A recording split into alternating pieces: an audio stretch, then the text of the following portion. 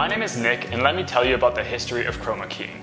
It all began in the 1920s with the film industries, where innovators like Walt Disney wanted to mix the real world and the animated world, so he had to find a way to put the background in. It then proceeded to go into other films such as Star Wars, Lord of the Rings, and other great blockbusters you've seen before.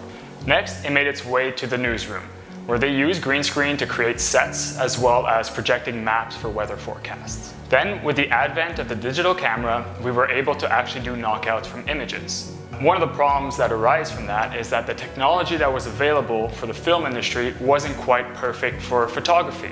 The reason being is that you often need to print that photo. So for a while, there was actually algorithms that were being used that were designed for film and that were not doing the job for photography. And that's where ChromaStar came in. With its efficient and best result quality and a timely fashion, ChromaStar is the best algorithm for knocking out photos. So give us a call today to get set up and have the best algorithm on the market.